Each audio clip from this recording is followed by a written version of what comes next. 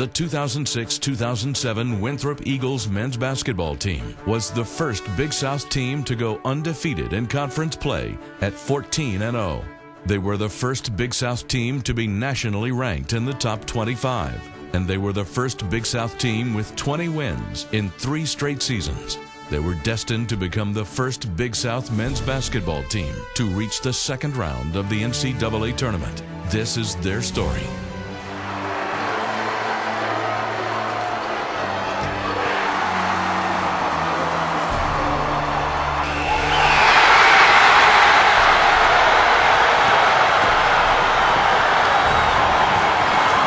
They had a great, great team that year, great players, and they've been they've been playing pretty well the past couple of years.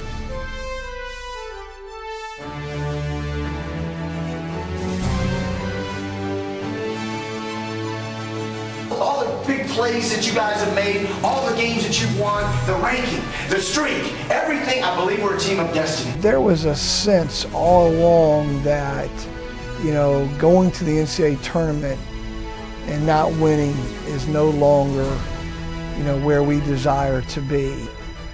Actually, I felt like, a, you know, the world was lifted off our shoulders, you know, because it was a, a struggle winning the past two seasons against Gonzaga and then that heartbreaking shot against Tennessee, Chris Lofton hit, and we just knew we had it in us. So I thought it was a dream come true, and then I realized that we still have another game, you know, in two days. But uh, overall, it was, a, it was a big sigh of relief. You know, that's what we came to do, and uh, we knew that we could do it, and you know, the whole world knew that we could do it. I've been around the Big South since 1988, and afterwards, I remember saying to someone, you know, in 1988, would I have ever thought that Winthrop University, a member of the Big South, you know, would advance to the NCAA tournament and, and defeat Notre Dame in the first round. So um, it was it was the highlight from personally for me with my career.